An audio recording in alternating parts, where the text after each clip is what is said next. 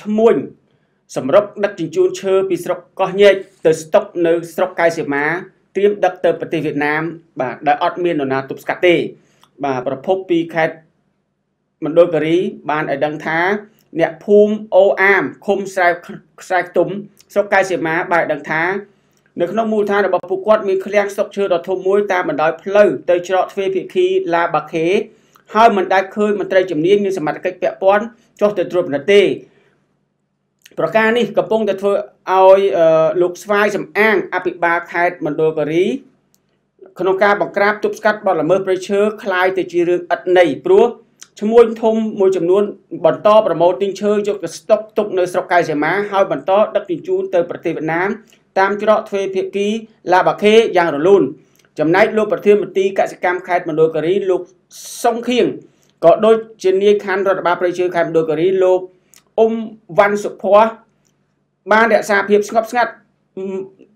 បានទទួលភាពស្ងប់ស្ងាត់បាទហើយមិនអើពើអ្វីទាំងអស់គឺថាដូចអត់មានអ្វីកើតឡើងនៅក្នុងកន្លែងដែលខ្លួនគ្រប់គ្រងអញ្ចឹងបាទប្រភពពីមន្ត្រីពាក់ព័ន្ធបានឲ្យដឹងទៀតថាការប្រយុទ្ធថ្ងៃទី21ខែមិថុនាឆ្នាំ2019កន្លងទៅនេះ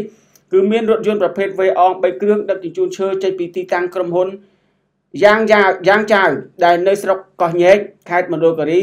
មកស្តុកទុកនៅឃ្លាំងភូអូអាមឃុំស្រែខ្ទុំស្រុកកែសីមាប្រពន្ធបានដឹងទៀតថាក្រុមឈ្មួញដឹក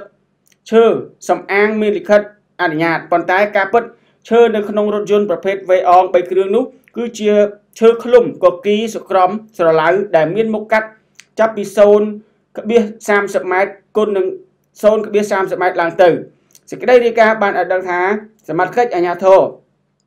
ថាទីតាំងសុកឈើនោះ គឺដំណើរការជាយូរមកហើយមិនដែលឃើញមន្ត្រីជំនាញពាក់ព័ន្ធចុះទៅត្រួតពិនិត្យឬបង្ក្រាបទេតែងតែធ្វើការលាក់លៀមលាក់បាំងមិនឲ្យអ្នកព័ត៌មានធ្វើការផ្សព្វផ្សាយទេផងមន្ត្រីអង្គការក្រៅរដ្ឋាភិបាលនិងសកម្មជនប្រៃឈើនៅខេត្តមណ្ឌលគិរីបានដឹងថាបច្ចុប្បន្នប្រៃឈើនៅស្រុកកោះញែកកំពុងប្រឈមនឹងសេចក្តីវិនិច្ឆ័យផុតពូជបាទព្រោះឈ្មោះធំធំនៅតែបន្តកាប់និងដឹកជញ្ជូនយ៉ាងសកម្មចេញ ជាក់ស្ដែងនៅភូមិអូអាមឃុំកែខ្ទុំស្រុកកែសីមាតាមបណ្ដោយផ្លូវក្រៅទៅច្រកទ្វេភាគីឡាបាខេ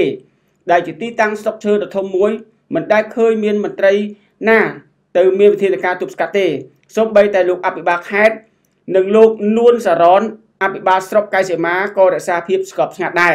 បណ្ដោយឲ្យឈ្មោះធ្វើតាមអំពើចិត្តអញ្ចឹងហើយបានទីថាករណីនេះសូមឲ្យថ្នាក់ដឹកនាំជាពិសេសអាដាមសាយសខា